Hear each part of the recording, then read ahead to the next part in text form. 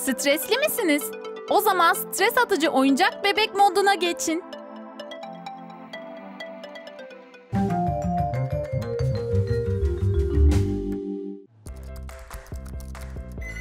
Trum Trum Psikolojik Destek Merkezi'ne ulaştınız.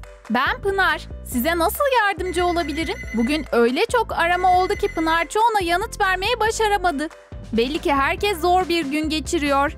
Stres yöneticimizin de çıldırmasına engel olacak kendi stres atıcısı var. Bu rahatlatıcı bir bebek kıyafeti. Çift taraflı payetli kumaştan aşağı eğimli bir bebek eteği şablonu çıkaralım. Kıyafetin üstünü ve eteği dikelim. Bebeğe giydirelim. Arkasına ince bir cırt cırt şeridi yerleştirelim.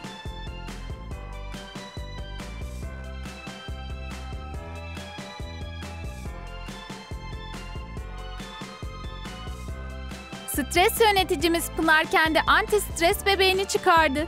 Derin bir nefes aldı ve sihirli elbisenin kumaşını ovaladı. Ne kadar rahatlatıcı. Bir dakika bebek terapisiyle tüm sinirleri rahatladı. Hadi işe devam edelim. Sinem'in temizlik takıntısı var. Temizlik yaparken Trum Trum rahatlama hizmetlerinin iş kartını buldu. Muhtemelen buna ihtiyacı olmayacak. Ah olamaz. Sinem fazla temizlikten takılıp düştü. Görünüşe göre temizlik takıntısının tedavi edilmesi lazım. Sinem cesur bir şekilde acil hattı aradı. Stres yöneticisi müşterinin panik olduğunu hissetti. Bu acil durum. Müşterinin kişisel bir stres atma tedavisine ihtiyacı var. Zavallı Sinem çoktan umutsuzluğa kapıldı. Öncelikle sakin ol ve derin nefes al. Şimdi uygun bir rahatlama yöntemi seçelim. Ama hiçbir şey Sinem'e iyi gelmedi. Pınar gizli silahını çıkardı. Başında slime olan bir Barbie. Barbie'nin saç kalıntılarını alalım.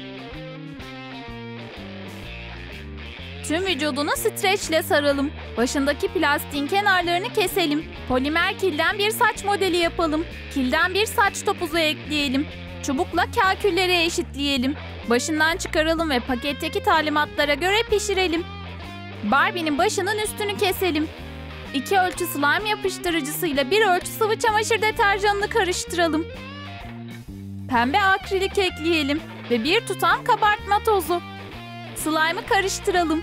Sim ekleyelim. Slime'ı başa koyalım.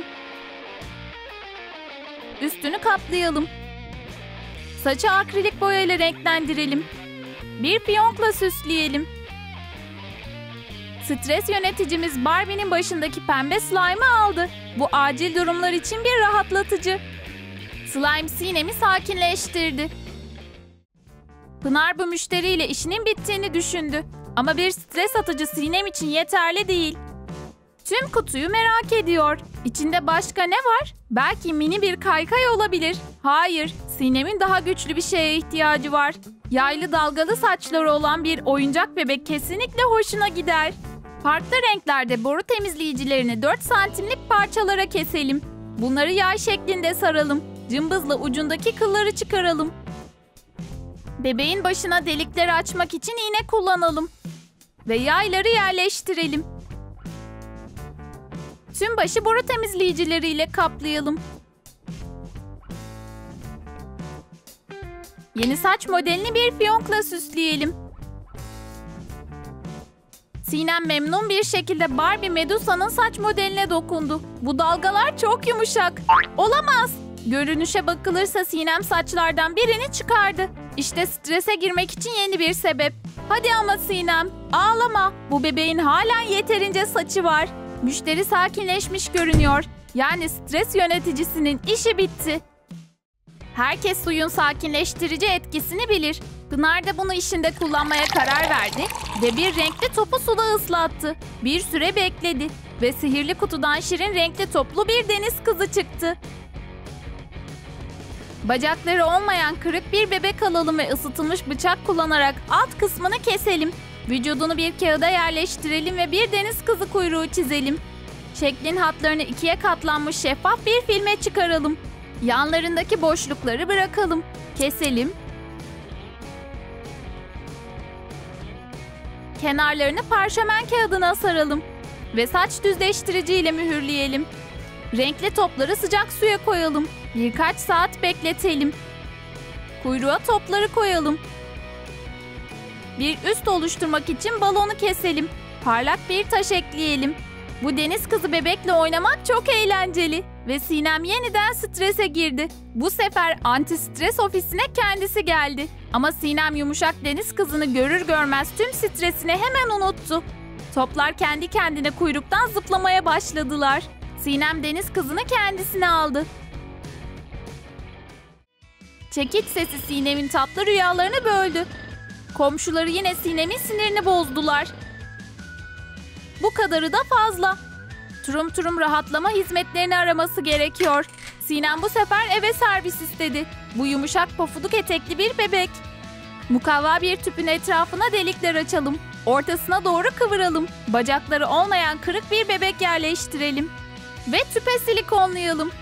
Köpük lastikten beli için pileli bir etek keselim. Geniş bir etek dikelim. Bunu tüpe yerleştirelim. Köpük kağıtla kaplayalım. Üst kısmını ve eteği parlak taşlarla, ince yarım boncuklarla süsleyelim. Sinem bebek stres atıcısını aldı. Bu bebek çok yumuşak ve ona dokunmak çok güzel. Pofuduk etek sahibini rahatlattı. Artık Sinem hemen uyuyabilir ve hiçbir gürültü onu rahatsız edemez. Çok korkunç bir şey oldu. Sinem'in erkek arkadaşı onu terk etti. Strese girmek için yeni bir nedeni var. Sakinleşmeyi denedi. Baloncuklu poşet patlattı. Ama bu uzun süre işe yaramadı. Baloncuk kalmadı. Yine rahatlatma hizmetlerini araması gerekiyor. Stres yöneticisi müşterisini kurtarmaya geldi. Ona acil bir tedavi uyguladı. Bu eğlenceli bir patlatma ama işe yaramadı. O zaman denenmiş ve onaylanmış bir yönteme geçelim. Yumuşak elbiseli bir anti-stres bebeği. Tül şeritlerini ikiye katlayalım. Ortasından yaka için bir daire keselim. Bir kat şifon yerleştirelim. Üst kısmın kenarlarına dikelim. Ters yüz edelim. Bir tül parçasına renkli pomponlar silikonlayalım. Kumaşı katlayalım. Kenarı boyunca dikelim. Ve eteği ikiye katlayalım ki pomponlar içte kalsın. Daha çok pompon ekleyelim. Dikelim ve üst kenarını çekelim. Altına şifon eteği yerleştirelim. Lastik kurdele takalım. Belin etrafına keçe bir kemer saralım. Üst kısmını birkaç pomponla süsleyelim. Sinem rahatlatıcı pomponları olan yumuşak beyaz elbiseyi sevdi. Neşesi yerine geldi. Ah olamaz. Sinir sistemi çöktü. Stres yöneticisi ekstra önlemler aldı. Bir çanta köpük top herkesi rahatlatır. Eğer sinirleriniz gerildiyse sıradan sanat terapisi bile strese neden olabilir. Sinem'in hemen rahatlamaya ihtiyacı var. Pınar bu durum için uygun yöntemi seçti. Boyalara, fırçalara ve renkli bir bebeğe ihtiyacı var. Siyah akrilik boya ve ince uçlu bir fırça kullanarak bebeğin üstüne stres atıcı boyama desenleri yapalım.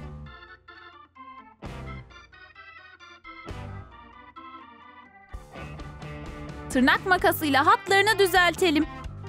Parlak gölgeler ekleyelim. Dövme sanatçıları streslerini atmak için bu bebeği kullanıyorlar. Sadece bebeğin vücudundaki desenleri boyamamız gerekiyor. Biraz boya alalım ve başlayalım. Bunun en iyi yanında hata yaptığımızda süngerle yıkayabilecek olmamız. Aferin sana Sinem. Ünlü bir Barbie dövme sanatçısı olabilirsin. Pınar stres atmak için yeni yollar aradı. Bugün en sevdiğimiz legoları kullanacağız. Legoları en sevdiğimiz Ken bebekle birleştirdiğimizde bakalım neler olacak. Kot kumaşa kene uygun bir tulum şablonu çizelim. Keselim ve kenarında boşluklar bırakalım. Tulumu iç kısmından dikelim.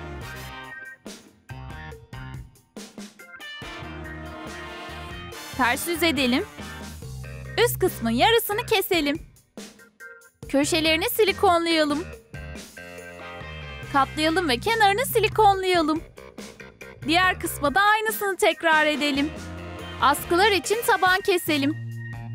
Metalik bağlar yerleştirelim. Katlayalım ve tulumun önünü silikonlayalım. İki kot şerit keselim. Tulumun askılarına yerleştirelim. Arkaya çapraz şekilde yerleştirelim. Ve bağlarla bağlayalım. Tulumu kene giydirelim. Kumaşa lego parçaları silikonlayalım.